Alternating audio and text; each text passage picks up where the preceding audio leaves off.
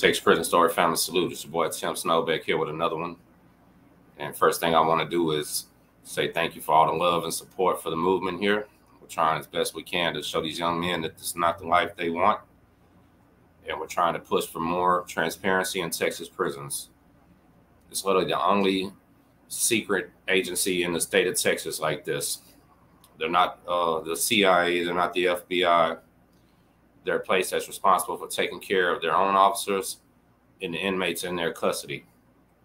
They have a job to do and they're miserably failing at it. And you would never know because it's everything is swept under the rug, everything's kept quiet.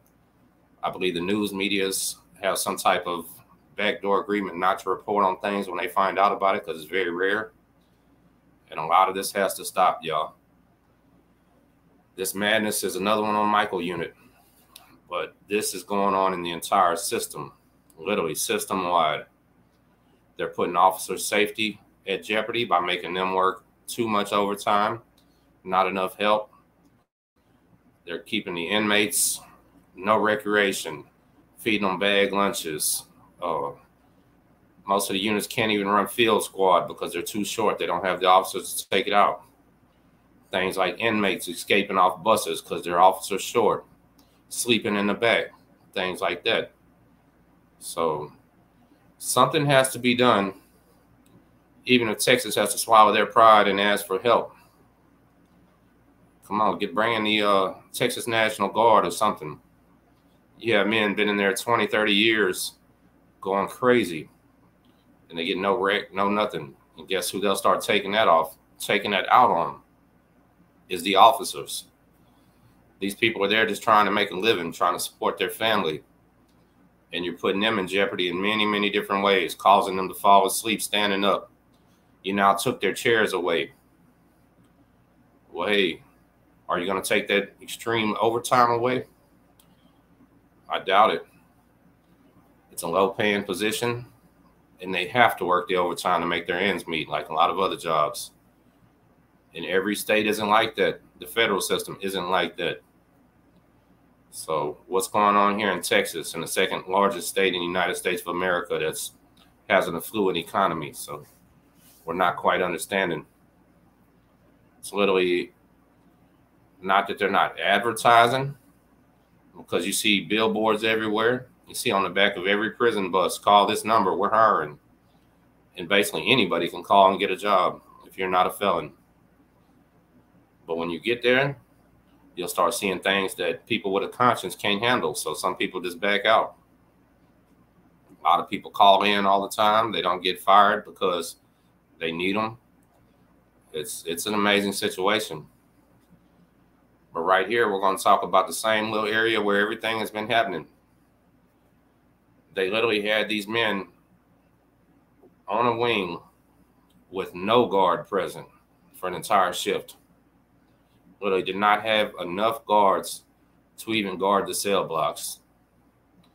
And I know what you're thinking. Inmates probably love that, huh? They're running wild, no supervision. But it's not true. Because when you have no guard there, guess what? you're guaranteed you're probably not going to go to medical. You're not going to chow. You're not going to rec. You're not taking a shower. You're not doing nothing. You're now locked inside of this steel box with no relief other than a little sink. Dip your towel your seat in there. Cover your body. You're pouring water on yourself all day. All right. With people with aggravated life sentences and 99 years and things like this the next day when they're released, you think they're not ag- agitated? They're already someone with mental problems, mental care, not receiving it. Texas is notorious for no matter what's wrong with you, they're going to give you an ibuprofen and a cold buster. You can have any problem, you might not get any care. So, this situation here is getting out of control. What's going on up there in Tennessee Colony? You're going to have to figure something out because it's embarrassing. They were literally trying to run a chain bus and couldn't even do it because they didn't have enough officers. They're pulling officers off the wing that's already understaffed to go ride the transport bus. I think it was yesterday or day before. part of the unit lost power. Now, we already know there's no air conditioner in a Texas prison, but they do have big round shop fans, at least, that's blowing around the hot air, trying to keep you alive. And even that was turned off. No lights, no anything. I mean, this big facility don't have a backup generator. That's unbelievable. It's amazing. And here again, it's not just the inmates. If a prison loses power, guess who? Well, guess who the first person sitting in front of that fan usually is? The CO. So when a prison loses power, now they got to deal with deathly heat too. Heat rises, and you have men up on the higher tiers that are literally in temperatures that can kill them. Nobody cares. Again, I'm not crying about it anything, but I'm pointing out the lack of efficiency, the failure of the system here. What kind of state agency is run like this? 3,000 fire code violations, fires unreported, guards falling off the stairs, they're asleep. Can't get the power back on. Not enough guards to even guard the men. And you say, well, what's going to happen to them if they're in their cell? No big deal. There's men that go into insulin shock. There's men that get in that heat and have heart attacks. There's all kind of things. Can be a murder going on. Somebody yelling for help. Anything like that. And here they go unanswered. I believe at that time they called a sergeant to come down and he was supposed to fill in for the guards, but the men are saying that that didn't happen. That literally he was sitting out in the hallway on the desk. So I don't know what we do about this, man, other than just keep exposing and talking about it. TDCJ, you have to do something about the short staff. These men need recreation. These men need hot meals.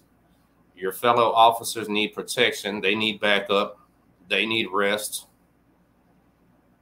I mean, good Lord, man. What kind of job is this? What type of place are you running, Texas? It's literally embarrassment. When I talk to ex-cons from California and tell them how things go here, they can't believe it.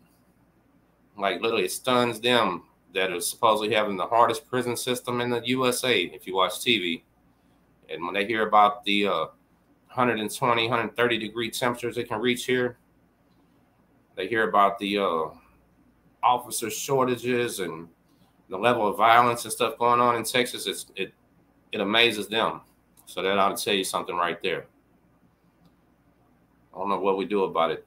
If you have family that works inside of a Texas prison, I think maybe you would want them to be safe, wouldn't you? If you have uh, literally inmates in there, you want them to at least have their basic human rights, medical care, and fresh air every once in a while. How about that? Even if the fresh air is go to field squad and work most inmates are happy to get out the building and go do that work that's non-paid and slave labor where they have to go urinate on their knees in the dirt that's how bad it is in the buildings and hot they want to get out there and go work in the sun and it feels better you have inmates escaping off transport buses because you're an officer short or an officer asleep. We said that. It's just it makes no sense man. We got to do better texas. Protect your guards, get these inmates human rights, man.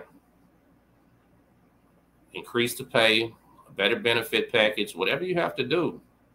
Build better officer housing so these people will come because a lot of them can sleep free right there by the prison and they still can't find people to do it. It's amazing and it's sad. And I appreciate all the love and support, y'all. We definitely gonna keep telling the truth.